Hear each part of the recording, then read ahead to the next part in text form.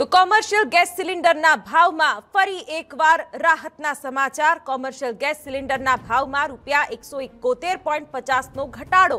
Gas સિલિન્ડરના ભાવ ઘટીને થયા એક હજાર આઠસો છપ્પન પોઈન્ટ પચાસ રૂપિયા. અગાઉ એક એપ્રિલે પણ ભાવમાં કરાયો હતો એકાણું પોઈન્ટ પચાસ રૂપિયાનો ઘટાડો. ઘરેલું ગેસના ભાવમાં હાલ કોઈ રાહત નહીં.